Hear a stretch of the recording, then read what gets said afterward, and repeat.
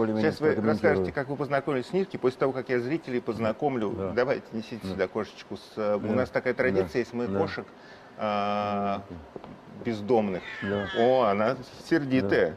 Как ее зовут? Милана ее зовут. Милана она отмыта. Просто волнуется. Волнуется, вот, ну еще Да. бы, это ее первый эфир. Будем надеяться, что последний. Будем надеяться, что Да. после этого эфира она ее, ее- не знаю. Это я она- я она- вижу пер- а- первый а- раз это в она жизни. просто убежала.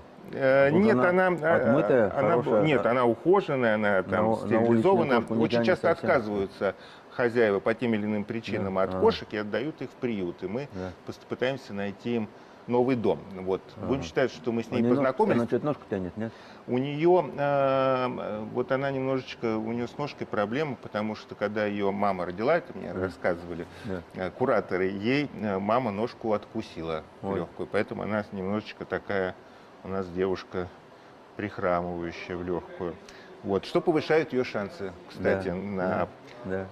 на новых хозяев. Так, расскажите, как вы со Шнитки познакомились? Это когда было? То есть это было служебное знакомство, а, которое переросло в творческое? Или вы да, с ним познакомились? просто, э, Так. когда я э, стал снимать картину «Араб Петра Великого», она Ага, потом вышла с под названием «С ага. Высоцким» картина, сказ про то, как царь Петр Араб женил. Да-да. Вот, а, искал композитора. Мгм. И, значит, э, Шнитке уже на- начал тогда работать в кино, он был молодой, но такой сразу был легендарным абсолютно, так сказать, композитором. Э, И я помню, я пришел к нему очень тщательно подготовленный, я тоже молодой был, старательный, значит, такой, так сказать, какая мне музыка нужна, значит, я вот хочу, чтобы была такая тема, знаете, чтобы она была, так сказать, и героическая, и романтическая, и чтобы она легко переходила в такую в, такую ироничную, сатирическую, так сказать, чтобы э, вот в ней было, так сказать, потенциал того всего пятого, десятого, ну, всякую режиссерскую глупость, так сказать, наговорил, вот, чтобы это было серьезно, чтобы не думал, что я, так сказать, такой был. Он говорит, слушайте, вам надо что-то вот вроде этого, так сказать, да, тогда и стал играть. Ага. Гениально, сам симпровизировал э, ту тему, которая мне нужна. Я говорю, гениально, все, так сказать, вот, вот это, э, это я возьму. Он говорит, ну, я придумаю что-нибудь похожее.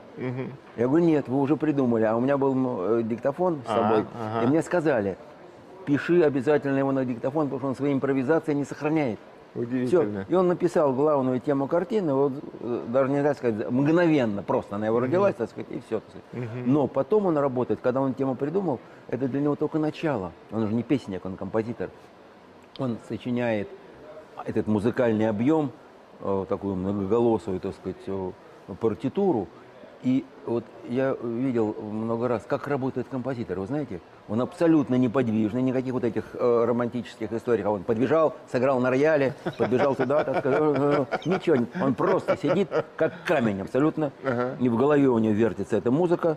И он вот так вот эти, эти э, тысячи, этих сотни тысяч, этих маленьких значков черненьких, он, значит, записывает. И так он может проводить все время. Потому что именно это для него счастье, именно это он, это, это для него жизнь, все остальное так вообще.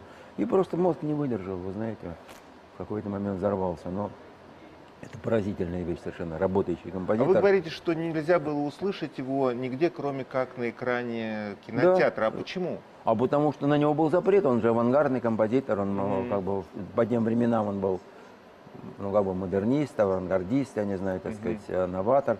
Тогда другие композиторы были э, в части. Хороший композитор, ну, скажем, Дмитрий Кабалевский, прекрасный совершенно композитор, детскую музыку писал, но то ужасное совершенно влияние, так сказать, на, вот, на официальную, так сказать, жизнь нельзя, так сказать, Неполиткорректно, но без злого умысла. Иронично, но без сарказма. Пристрастно, но по-честному. Правда 24 и Евгений Додолев. С понедельника по четверг в 19.30 на телеканале Москва 24.